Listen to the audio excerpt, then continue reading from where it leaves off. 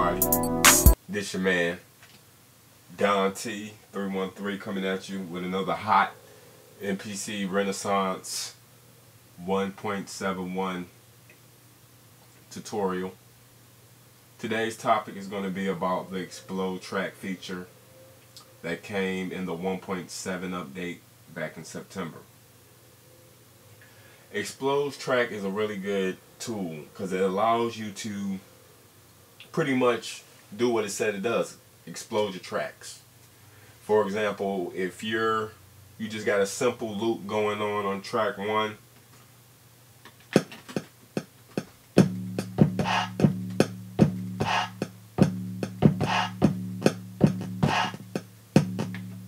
Okay um now just say you want to add some other stuff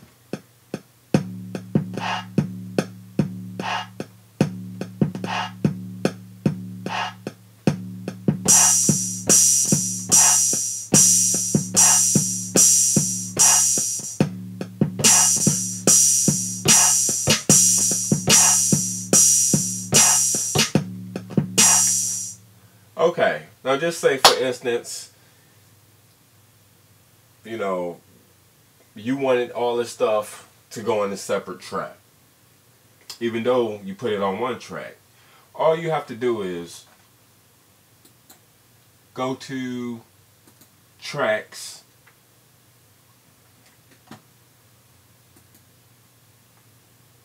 go to the edit window and hit explode.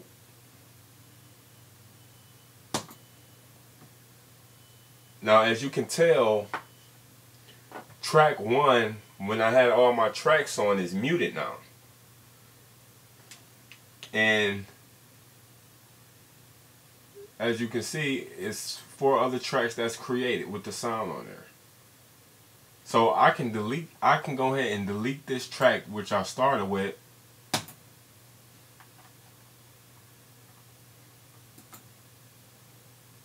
and all my tracks will still be there.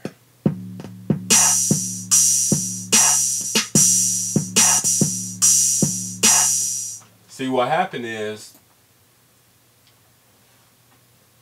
once you hit explode track everything all the sounds that you use goes to the separate track.